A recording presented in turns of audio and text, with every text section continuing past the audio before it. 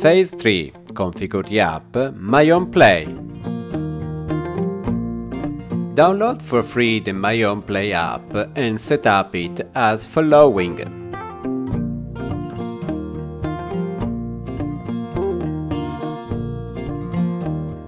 First of all, create an account by providing your credentials.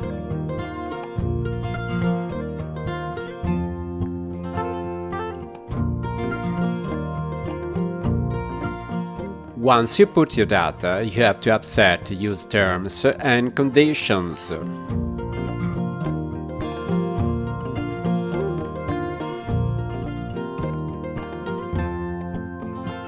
To register the app, you receive an email with temporary login and password. Use them to access and configure the My Play app. Insert the gateway into a power outlet and continue the installation. Your address is automatically recognized. Choose the installation name, its icon and the color.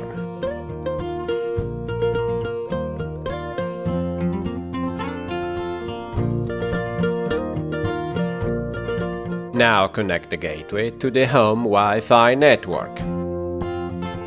If your router has a WPS button, use it, if not, follow the manual configuration. Now press the Wi-Fi gateway button. Keep it pressed until the orange LED starts fast flashing. Now the gateway generates a Wi-Fi MyHomePlay to which we have to connect temporarily.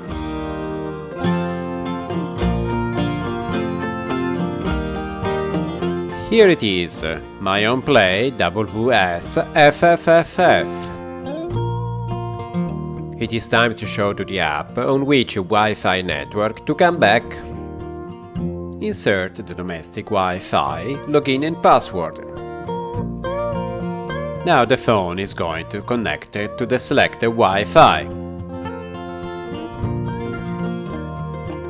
Now connect the gateway to the ZigBee network. Open the radio network from any actuator by pressing the micro switch.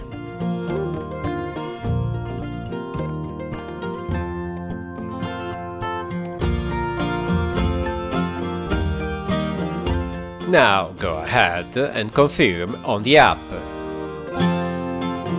Now press the Z button on the gateway to include it into the ZigBee Opened network.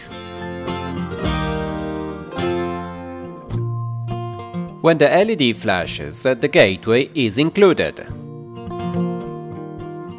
Now close the ZigBee network by pressing again any TW. The gateway just included scans the ZigBee network. When it finishes, uh, it shows uh, the installation products list. Here the ones that it has found. Let's try someone.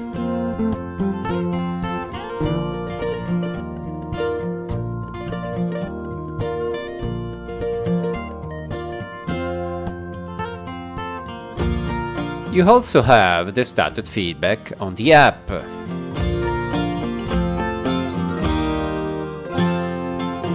If you want, you can add other objects later. Finally, invite your family to use the app. Insert then their email to send the invitations.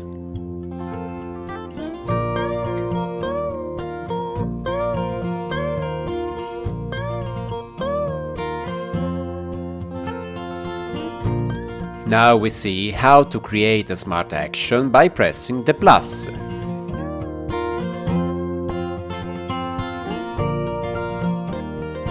You can choose between scheduled smart actions and normal ones. For example, we create one starting on Thursday at 6.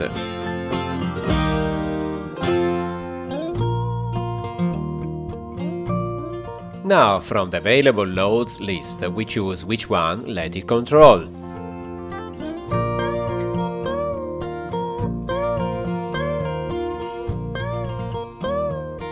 Finish. Now we test this scenario.